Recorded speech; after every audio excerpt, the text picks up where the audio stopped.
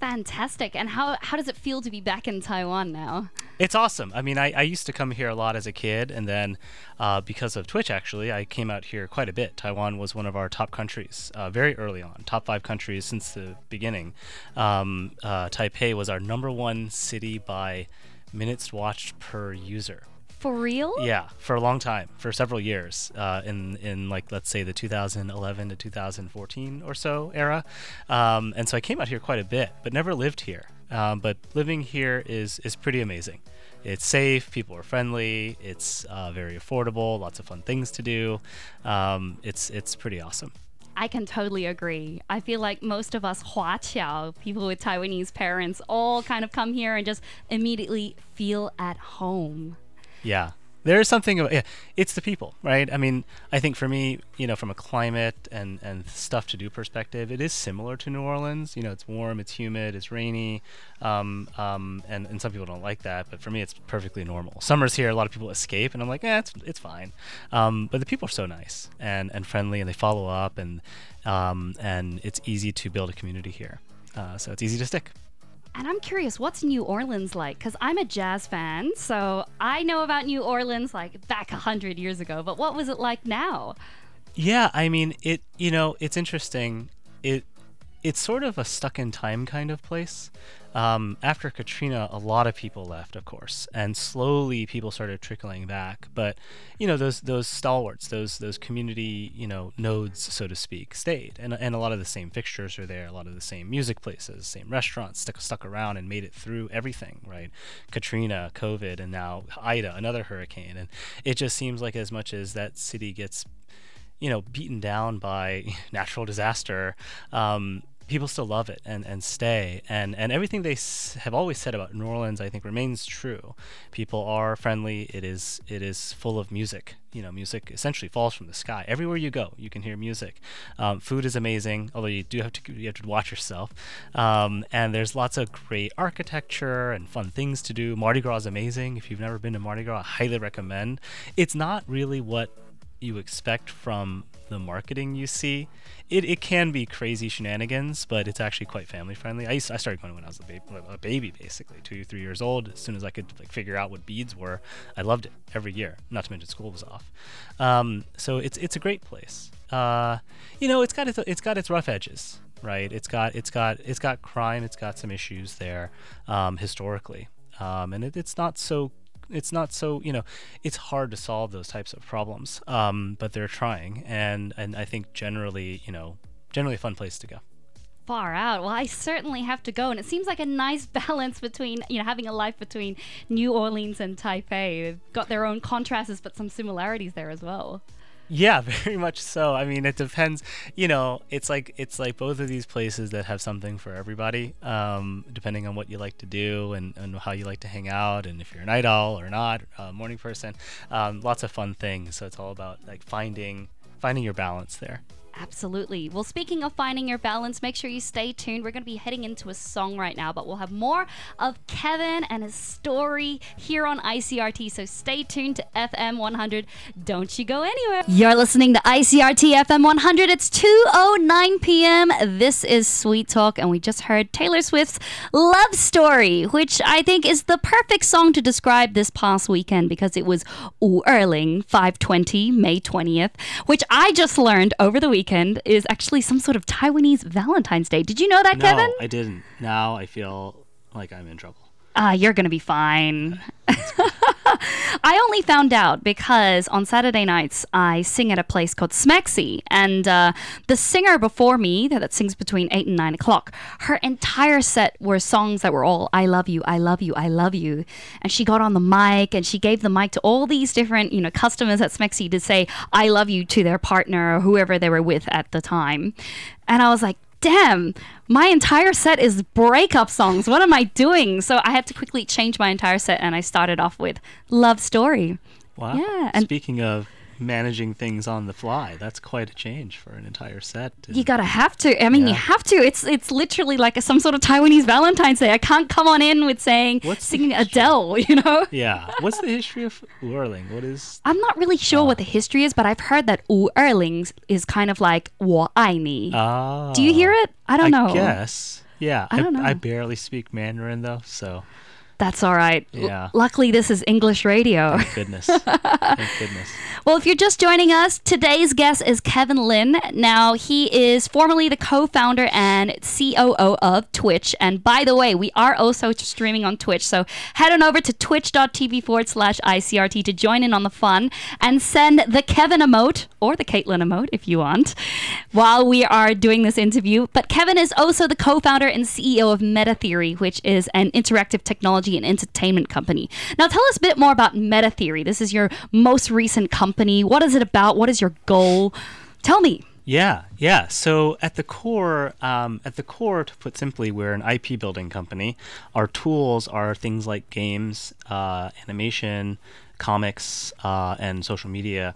Um, and so we launched a we launched as a Web three game company. That's sort of the you know quick summary um, bullet of what we are um, at the core too in terms of we're trying to leverage new technology. Now we're also using ai as everybody is um, but it's really about how do we build a bridge to blockchain and this sort of new concepts of your relationship with the internet um, and digital products that blockchain um, can bring to consumers. And and so that's the general idea of can you make games where similar to real world collectibles like Magic the Gathering cards or Pokemon cards that you can keep and have ownership of and, and theoretically participate as value increases if that audience grows um, um, and you know card value increases. Similarly, can you make digital items the same? And so that was just something fascinating that we, my co-founders and I and, our, our founding team kind of latched onto as a concept. Um, and then there's this idea of transferability and interoperability, as in you can take those objects and use them in other worlds. I think that's a really long time coming. I that- that this whole metaverse thing is like whatever, but it's it's a, it's far in the future.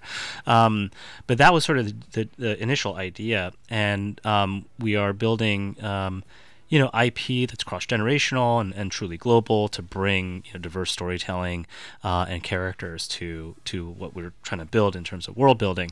Um, and you know, so we're building games. Um, we've made some animation, animated content. We're testing like VTuber technology and and many other things. We've written some web comics. We've created a visual novel system. All sort of foundational work so that now we can really accelerate and start um, telling these stories. But um, most importantly, drive people into these interactive experiences um, namely games. Uh, so we have one IP out there called DuskBreakers. We launched it as an NFT project in December 2021, um, and then we launched a second uh, sort of uh, companion. Uh, NFT collection called the Gribbles, which are these like alien bugs. The whole story is is, is the future, and this spaceship has come to Earth when Earth is sort of down and out, um, and has sort of earth-saving materials, life-saving materials that the humans start to mine and bring down to Earth um, to improve the human condition and, and improve our relationship with the planet.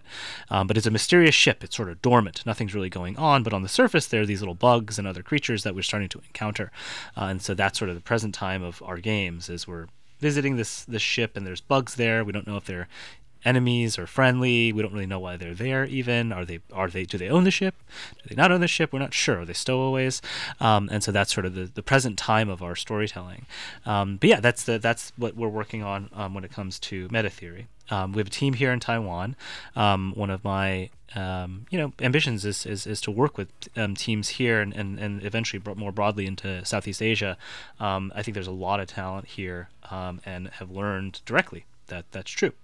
And so we have a team of 18 people in Taipei building games, animations, art, um, visual effects, like really, really ramping up towards you know building deeper and deeper games with this added complexity of blockchain.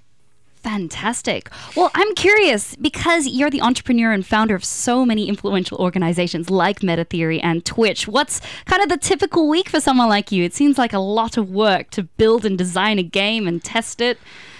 Yeah, I learned that game. So I'm a software. I'm a software guy technically, and and softwares and software building and game building are very different processes. Gaming, um, i games are just a bit more.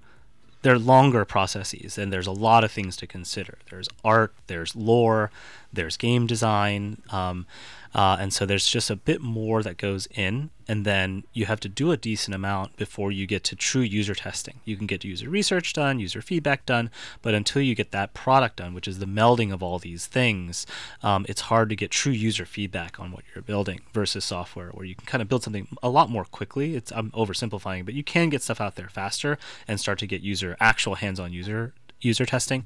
Um, so I'm learning that, um, and, and, we have we have a lot of great team members now that have been more experienced in the games industry that are helping with those types of processes and getting building up speed. Um, and so that that's been uh, fun to learn. But the average day is pretty because we are global. We're a remote company.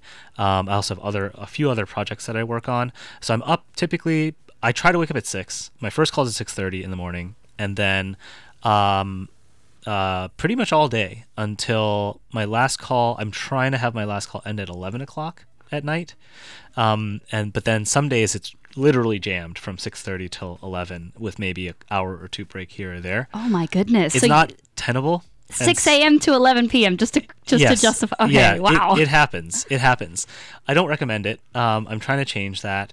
Um, and but it's tough when you you know you have a remote team and you want to you know make sure um, ideas are heard and people are people feel people feel like you know they can they can offer feedback and ideas. Um, and so but we we are sort of readjusting things and I'm gonna try to stop taking calls at night and go to bed early you know. I try to go to bed like 10 and then wake up like 5 maybe? Or 11 to 5 would be good for me. Yeah we were literally just talking about this as Taylor Swift's song was playing about how we need to get enough sleep. yeah, sleep and sun. Sun in the morning is really important, as it turns out. Oh, um, shouldn't we just live by the beachside? Then we'll always get sun. Yeah, what, what are cities yeah. for? We should just spread out. You could do a call by the ocean. I'm sure yeah. that'll work. Oh, dude. Yeah, some ambiance. Yeah. You know, they've got sound isolation these days. No one knows where you are. Exactly. well, we're going to be heading into another song, but make sure you stay tuned to hear more from Kevin. As you can see, we're just scratching the surface of his incredible busy schedule and also all the ideas that he has. This one is Ariana Grande with The Weeknd Save Your Tears remix playing right now on FM 100. Don't you go anywhere. We're here to sweeten up your afternoon. You're listening to ICRT FM 100. That was Miguel with Sure Thing. And we're just having an exciting day here at the ICRT studio because it's a Tuesday. And every Tuesday I have a special guest. Now, today's guest is Kevin Lin, who is the CEO and founder of Metatheory. And he's also the co founder and former COO of Twitch. And by the way, if you have a Twitch account or even if you don't, open up a web browser if it's safe. So if you're driving, don't do this. and search www.twitch.tv forward slash ICRT and come and say hi. And if you've got any questions for Kevin, that's where you got to go. But we were just having such an interesting conversation of chat GTP and you're all for it, isn't that right, Kevin? Yeah, I mean it's it's here. Uh, so for the listeners that don't know what chat GPT is, it it is an AI um, that uh, is designed as a chatbot that you talk to and it does things. And it has indexed so much information from before um, September 2021. It actually just got a re- recent update where it can actually look at current information on the internet, um, very similar to Google Google Bard. Um, and we were just talking about you know how how folks are using it. Um, highly recommend everyone listening out there to to try it out. Um, it it's free. Uh, there is a premium version um, which allows you to use um, sort of faster. You get faster service. You get more reliable uptime. Um, but it's it's basically free and it works generally for anybody. Um, ChatGPT 4 is the newer version that came out um, several months ago. There's also 3.5 that is I think 3.5 is like 100% free. Through four is there's versions that you can pay for. I forget exactly how it works, but effectively free. It can it can help you do anything, um, and uh, it's a technology worth using. A lot of people are scared that it's going to replace jobs, um, and that's why they're angry at AI. Um, but I, I, think yes, that is probably true. There are certain jobs that you may no longer need, um, but as our community, global community, uh, species matures, we'll learn to integrate it, and, and new jobs will come as a result. And utilizing AI technology will be critical to those jobs. It's just going to be a new interface, right? So rather than opening a mail client, you'll open a mail client that has AI and it'll help you write your emails. That's it. It's it's not. It shouldn't be that threatening. Um, but again, yes, there are certain things that will will likely be removed um, uh, from need, uh, from societal need. Uh, but that's okay because new things will come. Have you been using ChatGTP on your day to day with your tasks and work? Yeah, I use it from everything. I try to use it all the time. Um, I use it uh, almost like I use Google now. Right, I'll search for what's a, what's a good restaurant um, in Taipei for tonight. Um, uh, I will the more interesting things I think I use it for is I use it for I use it for workout planning. We were just talking about that. Um, uh, so i have typed in sort of my goals and and um, uh, calorie goals, fitness goals, and then I'll have it at, spit out every week for me a recommended workout based on what I did before. So I'm constantly updating it on that particular thread. Um, I use it for writing. And so, um, part of Metatheory, we're trying to create all this lore. Our team uses it this way too. They've written now all this lore inside of ChatGPT and really use it almost as a writing companion, um, as you might uh, a normal person. Um, but it remembers so much more and it can it can really work with you long term on designing an entire universe um, and then from the universe pluck out narrative character arcs relationships. Um, it can also pull in sort of current themes um, if you ask it to. Really you can ask it to do anything. You can write in many different styles. And so we use that as inspiration and then go to the you know go to the drawing board and write ourselves but we use it as this like instead of writing in like a giant google doc you can just write in ChatGPT and it'll remember all this stuff and help you understand the universe, even maybe remind you of certain things. I've and so we use it that way as well. Um, and then we use it for basic, you know, simple things, making emails sound better, making social media posts sound better, um, and you can you can even design entire social media marketing campaigns with it. Right, Far you can out. you can write code. Uh, our our tech team will use it to write code now, and so we'll say as a simple example. Um, we want a weapon in our game to operate like a sonic boom from Guile in Street Fighter, and it will spit out that code. We have to massage it a little bit and change it up, but um, it is it is pretty good. Um, it's a really remarkable tool and So you've been- translation as well. You've been encouraging all your staff to use AI and also to use ChatGTP. Oh yeah, we pay for it. Um, Ah. If you, you if you subscribe to it, we pay for it. Um, we're we're building a lot of our own um, uh, our own stack for other AI tools. So stability is another one that's on the art side. Uh, it's art generation, um, stability, stable diffusion, Midjourney. Uh, there's a lot of products now that are out there that are making the creative process go faster. And again, similar to what I said before, it's not that artists are being replaced by us. We still want the concept artist to use these tools as inspiration. It's faster inspiration iter- iteration process on concept art. And now a person like me who can't draw, don't do art, I can make art in Midjourney or Stability, hand it over to my team and say it's something like this, right? Used to, you kind of did the same thing. In, in my opinion, I know a lot of artists are upset, upset by AI, and there's a lot of regulatory issues that will come and need to be solved to protect artists. I totally agree with that. Um, but the reason I like it is because I can then, instead of just going to Google and searching, okay, you know, I want Studio Ghibli film, Spirited Away, The Creature from the Forest, send me some examples. I'm doing the same thing anyway. But now I can just tell the AI, to, okay, it's inspired by these different character designs, these different art styles, and it'll spit out a bunch of different iterations. Then I can go speak more clearly with my artists and say, hey, like, here's the inspiration, here's what I've been thinking, what do you think? And then they'll take it and draw it right? Um, um, eventually, there's that that process will go even faster from 2D concept all the way to 3D model rigged, ready for game, ready for animated show.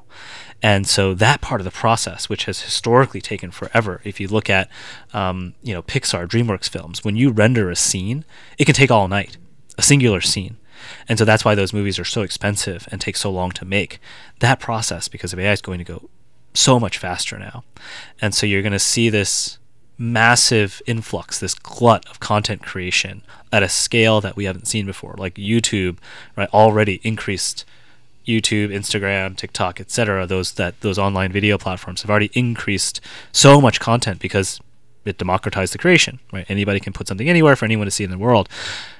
Now this, you know, next level of more complex creation of video games or animated shows or other things, almost anyone's going to be able to do that, even if you've never been trained to make art. You can just do it with new tools.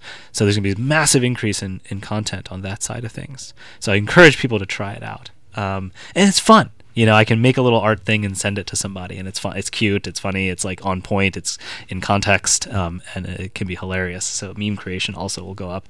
Um, but I highly encourage people to test it out. Fantastic. Well, we're going to be taking a little break. Enjoy this next one by Sia Chandelier. But stay tuned because we're going to chat more with Kevin about, well, what his day to day is like and what his companies have been up to. As you can see, we're having a fantastic conversation and I'm getting so inspired as we speak. Enjoy this one and we'll be right back. To ICRT FM 100. I'm DJ Caitlin with Sweet Talk, and joining me to make this afternoon even more sweeter is Kevin Lin. Welcome back to ICRT. Hello, thank you. It's been such an inspiring day today. I'm learning so many things, especially about AI, about Metatheory, about Twitch, just so many things. I think if we didn't cross paths today, I probably would have taken years to find out about. Oh, yeah. It's it's it's lo- the the speed of technology has always been fast. Um, it is getting even faster, um, exponentially with AI. Um, and so it's it's uh, it's incredible. And I, I think what's interesting about the AI stuff now is it, it's starting to hit consumers. There's been AI behind the scenes that people have been using for a while, for a really really long time. Um, but now it's sort of becoming more productized uh, on a consumer level, and so more people are starting to understand it and realize. And there's fear, of course, that comes with that. Like, oh my god, like wait, how long has this been tech been around? And what you see, ChatGPT as the example we were talking about earlier, a small fraction of what AI can do. How are you keeping up with all these technology changes? Um, luckily, I have a lot of friends that help me keep up with it, and I, I, I, I you know, I just try to use a lot of this stuff. Uh, and then uh, obviously encouraging the team helps because then they're looking for interesting new things.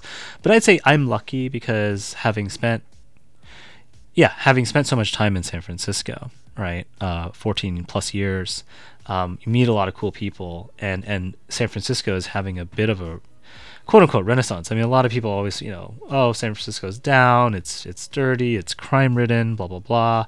It's kind of always been like that, and and um, in in a way, but never that bad.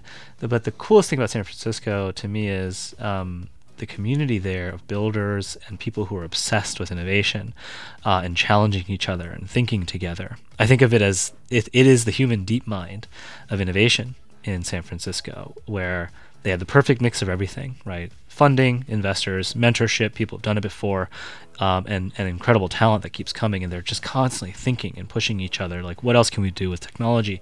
Um, and so I still benefit, despite not being there anymore, benefit from my friends over there sort of sending me stuff all the time of like, check this out, check that out, um, uh, from every aspect, from people building to people investing and being just general people curious about what's going on. Um, but to keep up with AI, I mean, there's a handful of folks out there on Twitter I would just follow, you know, six, seven people that update almost every day. There's hundreds of products coming out every single day um, because AI has now made creation. Again early, to the point earlier oh I don't know if we are on, on air then um, but creation of assets creation of content is is what I think a lot of consumers are going to experience from the, the result of AI um, but underlying all this stuff all the technology that allows for the consumer experience is just accelerating so fast. Um, and it's like you know AI building AI it's, uh, you know, it's that's happening, and so that starts to get even faster and faster, right? AI at the core is a lot about efficiency. You know, it's, it's you know one of the things it's essentially told to do is make this as efficient as possible, regardless of what the output's supposed to be. And so that's just making us faster, um, and in itself is getting faster. Well, we've spoken a lot about AI and also about San Francisco, but I want to know more about your story and how you started in entrepreneurship. And I know San Francisco plays a big part of that. So tell us, how did you get into entrepreneurship and this world of technology? Yeah, so a bit of an accident. I mean, I, I, I graduated from college in 2004. I studied ecology and evolutionary biology. Um, I had planned, pseudo planned to become a veterinarian that's what I told my parents. I was like, okay, it's close enough to being a doctor, and they were like, okay, this seems like fine. It seems like it's a respectable job. It's a tough job, and I did um, some volunteer work in in New Orleans on the West Bank at a place called Acres.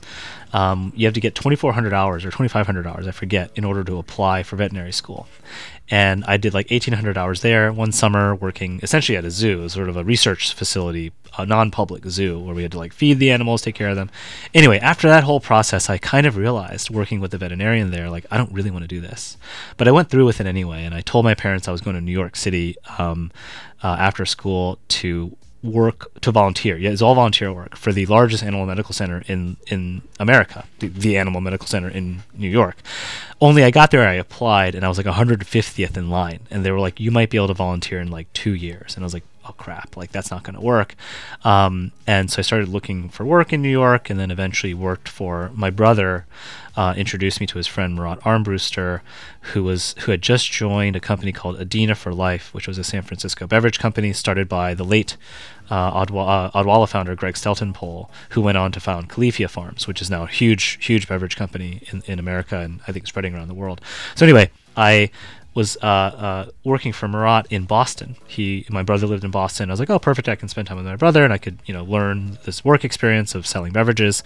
And eventually, Murat was like, hey, why don't you come to San Francisco? The headquarters of Adina was in San Francisco, and so I went out to San Francisco, uh, December 2005, and worked for them for a couple weeks. And they eventually asked me to move out there. Uh, so I talked to my then girlfriend in New York, uh, and we decided to move. And so I moved in January 2006 um, got there and was they had just bought this beverage distribution company. I started working in the warehouse, selling beverages, slinging sugar water. Basically, we had like 700 different SKUs. I know a lot about sodas and juices and teas now. Um, and then um, Michael Seibel, um, one of my closest friends in college, um, and Justin Kan, uh, also a good buddy from college, um, drove across the country in 2006 to move to San Francisco from Boston after selling their first startup. Emmett Emmett um, Emmett Shear, CEO, recent CEO or C- longtime CEO of, of Twitch, recently left. My co-founder. Uh, they all drove across the country from Boston to San Francisco just to be in the thick of it, to be in San Francisco where all the magic was happening, and uh, eventually they recruited me in. Um, in 2008, um, I was sort of not super excited about my job anymore. My parents were constantly bugging me about why didn't I go to graduate school and, you know, why was I wasting my college education working in a warehouse, um, even though I, I, actually really enjoyed it. Um, but they were right. They, they were right. I should try to do more. And so I, Michael one day called me and said, hey, we need some help. We need some help putting together some projections and estimates for like where this company can go. Will you come meet me in the morning and help? And so I did for about two weeks and then finally, you know, I was like, okay, cool, all's done. Good luck. They were trying to raise some money. Um, and uh, one day, Michael and Justin invited me to lunch at Louisiana Fried Chicken on Third and King, right across from the ballpark. We ordered our food, and before I could even take a bite, Justin just looked me dead in the eye and was like, "You should join us." And I was like, okay, I'll tell you the same thing I told Michael right when he asked me to help. I was like, I don't know anything about the internet. I know nothing. I know I don't know how it works. I, I don't even know how to monetize. Like I don't know jack and they're like we don't care like we really just want to work with people we trust that we feel like we can we can grow with and challenge each other and so i talked to some friends and i was like i was mostly nervous because i was like i don't know any i don't know anything how could I possibly do this job? And a couple of my friends were like, well, you didn't know anything about beverages before. And I'm like, well, yeah, but I work in a warehouse. Like, it's not that hard. Um, um, but, you know, there was a lot to figure out from an operations perspective. Um, and then, you know, the guts to call and sell. Like, you had to, I had to cold call grocery stores and restaurants and visit them and bring samples. And it was a lot of on the ground work and good good great work experience actually. Um, so i decided to join um, and that's how i got into the startup world. I became a founder of twitch in 2000 a co-founder of twitch in 2010 2011 when we uh, uh, decided to kind of deviate. We, we had justin tv that was the original product that uh, michael and justin brought me onto with emmett and kyle. Those are the four co-founders. Um, I was there to help do the business, right? Figure out um, everything from accounting and financial projections to recruiting and HR to like, what do we do with this? Who do we sell it to? So I started meeting with, you know, sports companies and news companies and eventually game companies in 2010. Uh, and then 2010 was that spark when StarCraft 2 came out. Um, we were like, wait a second. Our company's going to die because we're playing too much StarCraft 2. But the aha moment was we were watching StarCraft 2 on YouTube all the time and we noticed that um, we had a, we always had a small gaming community on on Justin TV back then. There were streamers like Kaiba and Four Player Podcast and several others, um, and uh, eventually leaned into that. And then I became a co-founder in 2011 as we sort of split the company in two two different projects. Michael took one with two engineers called SocialCam that sold to Autodesk pretty quickly, um, and then StarCraft 2 had come out, and we were starting to realize that um, we were playing too much and we would be the death of our own company if we didn't focus. Uh, we were lucky we made it through the recession profitable, um, and it allowed us to start tinkering. And um, in May 2010, we got access to the StarCraft 2 beta miraculously. We didn't know anyone in the games industry yet, um, but we played. We'd, I guess maybe because we played a lot of StarCraft before, and um, started thinking. You know, we started noticing that we were ourselves, our own behavior was we would go home and watch StarCraft 2 videos, go back to the office late, dreary-eyed, late, late dreary-eyed because we were like staying up late watching YouTube or playing StarCraft. And then we, you know, by lunchtime we start playing StarCraft. We're like, let's just play StarCraft today. Yeah, we don't have to, we don't have to do anything. Let's just play StarCraft. And we were playing StarCraft all the time. And uh, um, finally, this sort of mini light bulb moment where we were like, okay, maybe we can turn this into a live thing. And and um, we did have this small but vibrant um, gaming community. We noticed that some of the top YouTubers that were creating StarCraft content were streaming on other platforms like Ustream and Livestream. And we finally did the right thing for ourselves and the company and the product and our community, which was we started talking to our customers. It's not that we didn't do that before. Justin and Michael and Emmett and Kyle had talked to a lot of different types of streamers on Justin TV, but we didn't really spend a lot of time with the, with the customer. We also had two customers in mind. One was viewers and one was creators. We didn't really call them creators back then. We just sort of called them streamers. Um, we still call them streamers today, but creators as the broad category um, was still a very nascent concept. Like this whole idea of the creator economy was still really not formed yet back then in 2008, 2009. Um, and uh, we started in mass and very deliberately talking to StarCraft streamers, StarCraft content creators, both YouTubers and streamers, to understand what their desires were. Like, what do you hope this? What what what happens here? Um, if Twitch works for you, if, if this product originally Justin TV Gaming, where could it go? What does it mean to you? And we got lots of great ideas, like, well, you know, I want to be, I want it to be my career. I just want to do this full time. I, I want to make money. And we got ideas on how they can make money based off of that. So little things that people maybe take for granted these days. One, commercial breaks. At the time, the state of the art was we just ran commercials whenever, randomly, every 20 minutes. Ustream was the same way, Livestream was the same way. It was the only way to monetize effectively at the time. YouTube really set that tone in the industry. You got video online, you're going to sell ads against it. And uh, our creators, like, I hate it because all of a sudden an ad runs and my, my users, my, my viewers complain because it ran an ad over the most important part of the battle. And so, like, oh, what if we handed it to you and made it your choice? Our board at the time, write the correct feedback. Our investors were like, yo, no one's going to run ads. And we're like, we just got to trust the creators here. They're telling us they will do it because earning revenue is important. Um, so we had to take a little bit of a risk there of, of giving the power to them. And it worked. Um, and then the subscription idea. Really, the, the first at scale built into platform subscription system we built based on creator feedback. Um, Day Nine um, was one of the most influential there. He was an early StarCraft streamer, um, very vocal, incredibly smart. Now he's building video games, but just a really thoughtful creator. Um, started to say to tell us these ideas of, well, it was based on simple things like back then donations were a big thing but people would donate through gofundme these widgets chip in paypal but they were inconsistent and oftentimes their money would disappear. They would get locked up. They wouldn't send in the cash. And so but part of that was they didn't like it because they felt bad. They felt like they were just taking money with no way of thinking in a meaningful way. And so we turned that product feedback into a subscription. Okay well now you get a badge in chat you get recognition. We'll eventually build more tools that allow you to interface with the subscribers more. And the creators would do their own thing, right? They would do subscriber only games, subscriber only chat. We built all these various tools, but a lot of it was them, how they decided without our own features, again, at the time, but we added more features over time, how they would interface with the paying patrons effectively. And that was all through actually talking with creators, finally, identifying creators as our core customer, not ignoring viewers, but channeling through the creators what viewers want, right? They are a conduit. They are themselves viewers. And so we started to become less distracted, right? It's hard when you're like, okay, well, there's tens of millions of people who want this stuff. Oh, but what do the creators really need? Viewers want infinite features. Creators are like, well, what about this first, this next? So it helped us really focus in, and that was that was really a game changer for us internally. That final true identification of the customer. Um, so anyway, so that was that, and then you know we we um, started to grow. I mean, it grew so fast, um, really almost out of control. Our costs would spike because you know live video is all about um, delivery over over the internet pipes. And the more utilization of those inter- internet pipes you have at any given moment the more expensive your product becomes. And so our product was super expensive because we go through these massive spikes. And it was this article i think this is when my mom started to figure out my, my parents started to figure out what we were doing. There's an article in the wall street journal that lists it out in the us this was 2014 i believe.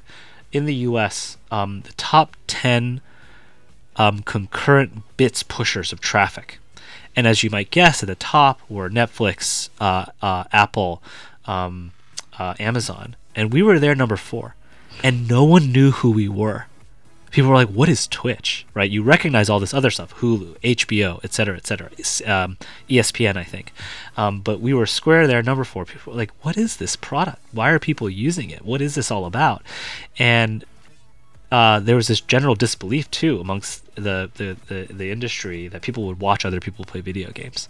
We had talked to again news people, sports people, historically trying to do deals with them, and there's this disbelief like why would people? This is so stupid. There's, no one does this, right? Turns out an entire generation grew up doing it. You know, if you're at your friend's house, you're at the arcade, you're not playing. What are you doing? You're watching. You're watching.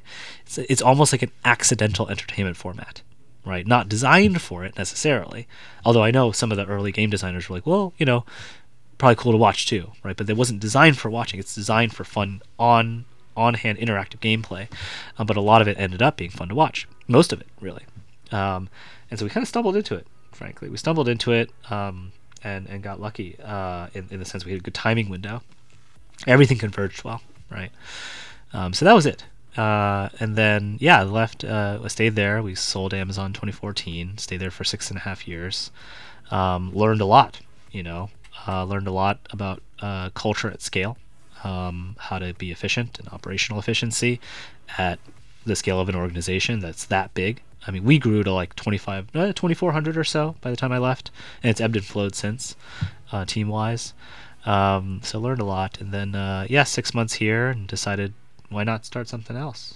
There's all this weird stuff happening, so give it a shot. Wow, what a story! I mean, I would just love to even just have a fraction of that story to tell.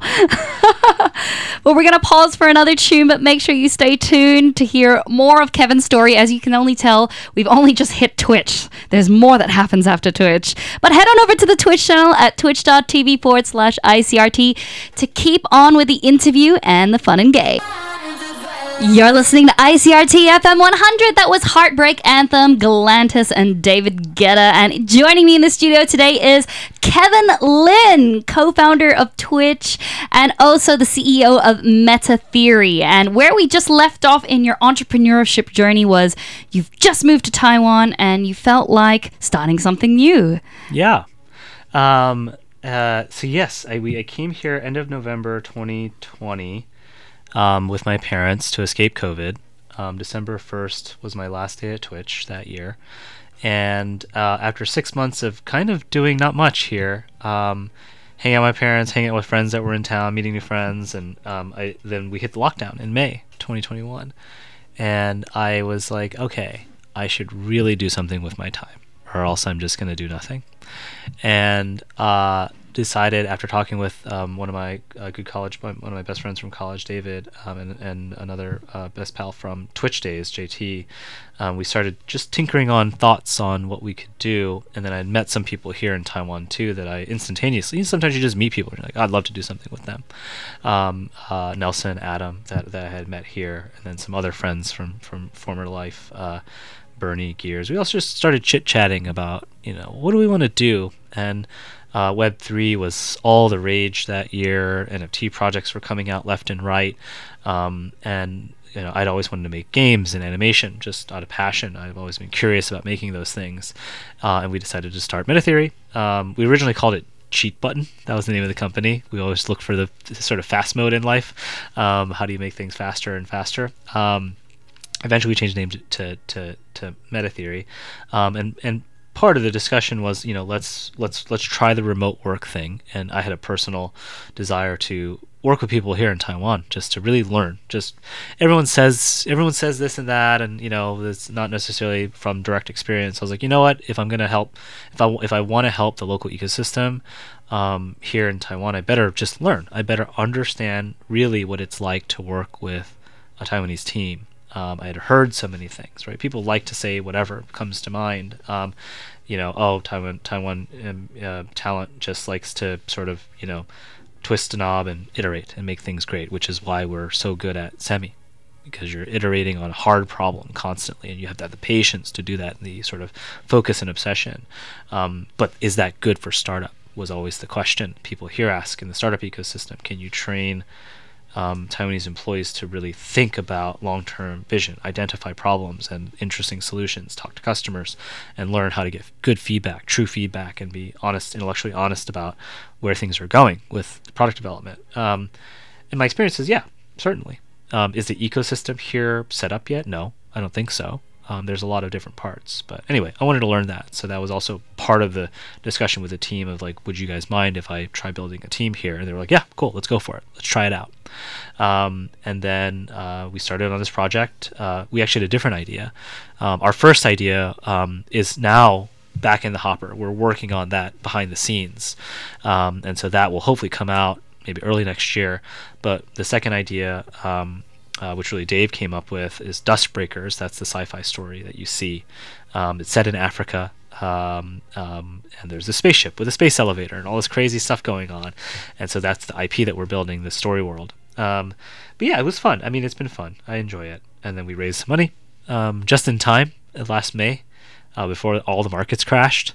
Uh, we raised from Andreessen, uh, Andreessen Horowitz, uh, legendary venture venture fund uh, based out of uh, Bay Area, uh, Pantera, which is this also a legendary um, sort of blockchain crypto focused fund. Um, and a handful of others. Dreamhaven was well, our first investor. They're this collection of also truly amazing, you know, veteran game makers. Uh, Mike Morhaime, uh, Shane Dabiri, Paul Bitta, um, all these folks that had built Blizzard essentially. Um, they made all the games I love: StarCraft, Warcraft, um, uh, recently Overwatch, uh, Hearthstone, etc. Um, they started a new studio, uh, studio publishing group called Dreamhaven, and they, they we were fortunate enough to be their first, I think, and still only Web three game company. Uh, they've invested in many others, but they're excellent mentors. Um, so we're trying to bring a lot of that here too, right, to Taiwan. Is you know how do we transfer some of this knowledge and mentorship um, and help help the broader ecosystem here too. Um, yeah, so that's it. So here we are trying to make games. It's really hard, actually. If you like making games, um, hit me up. Uh, if you have experience making games, hit me up here. We're Speaking looking... of which, where can people hit you up if they want to keep in touch with you and see what you're doing on this journey? Oh yeah, um, I guess let's see. I guess Instagram's the easiest. Um, just Vinlin. So it's my name, Kevin Lin, minus the K and the E. That was my nickname from when I was a kid. Uh, Vinlin. Uh, on Twitter, I'm just Kevin Lin. A little confusing, but yeah, Kev, full full name Kevin Lin on Twitter, Vinlin on Instagram. Yeah, go and follow Kevin. Do you have a Twitch account? Speaking of which, I do. Vinlin. Vinlin. Uh, same, same, same. So yeah. we can all follow that. Do you ever stream anymore? I don't. I don't. We've been kind of talking about it at work. Like, do we create do we create a show and talk talk to our cool industry friends to you know educate people? So we've been thinking about it. Uh, but no, I don't. I don't really create much content. It, despite having been in the industry uh, for so long, I, I tend to shy away from it. I'm more of a observer. Person. Yeah, I'm a lurker. Well, people should go and check out Metatheory. It seems like you put a lot of heart and soul into that, and yeah. they want to see what you've been creating. They should go and check out Metatheory. Please do check us out. Twitter.com slash DuskBreakers. D U S K B R E A K E R S. Fantastic. Yeah. Now, before we wrap up today, I want to ask one last question. Do you have any words of wisdom or advice you'd like to share to people? It could be general or it could be specific to building their your, their own company or story. What what advice do you like to impart with? Yeah, I mean, generalized advice. I think. Uh, let's see. Okay, something that's been top of mind recently. I was in. I went to Singapore to give a talk at this uh, accelerator uh, called Antler. They're they're super cool, um, early, super early accelerator program for startup founders founders where they train you from just the desire to be a startup founder to um, putting together your own company, presentation, and even your own product and getting users. So they're sort of a pre-accelerator, so to speak. Um, someone asked there, like, why does San Francisco work? And like I mentioned earlier, it's because there's so many smart people there um, talking about stuff um, and really pushing each other to to you know learn faster and, and do better. Um, so I think generalized, you know, surround yourself with smart people. Um, uh, obviously, you have to like them. You want to hang out with them, um, and and you know have debates, argue, challenge each other. you know think really critically about stuff don't don't accept things for what they are um, but surround yourself with people like that who when you spend time with them you're like wait a second did I just learn something? You know, um, I think it's really important. Um, and and obviously you have your, your you have you know, your friends too. You can always should always have them, um, but find people like that that can that can challenge you to think differently um, and think more openly, and find those mentors, whether unofficial or official, in your life that can teach you stuff that you might not otherwise know. Um, but you know, also think about what you want to learn, what's important to you whether it's career or personal development, um, and find those people based off of that. Think about that. Um, I think about that all the time. You know, I think what what am, what am I what am I learning? What did I learn this week? Um, what was good time spent? What was bad time spent? Um, and try to adjust. Um, not because I'm like obsessed, efficiency obsessed or anything, but it's just you know time is really important. Um, it's the one asset we have no control over. We do have control over it, but you can't you can't you can't get it back. and so, yeah, I'd say that's it surround yourself with smart, interesting people that are nice to you and challenge you. I love that. I think one of the best advice I've ever received was if they have a website or an account, they want to be found. So, right. like you were saying, go and surround yourself with those people. If you can find their website, you can find their account, go and surround yourself with them. yeah good advice. Well, speaking of time, thank you for your time and for coming here at ICRT. It's been an absolute pleasure learning your story. I feel really inspired already. Maybe I'll go start a company after this hour. Hey, give it a shot. Anybody, if I can do it, anybody can do it. Um, no, thank you so much for having me. Um, hopefully, the listeners out there got something from this. Um, appreciate you tuning in. Absolutely. And I'll make sure to share all of Kevin's social accounts and Metatheory account at the Twitch channel so you can head over at twitch.tv forward slash ICRT. And if you missed anything on this interview, don't worry. We will be posting highlights from it all across our social media at ICRT. So make sure you go and follow that. Thank you so much, Kevin. Thank Have you. a wonderful day. And for the rest of you, stay tuned. We're still going to be here on ICRT. So don't you turn that knob anywhere else.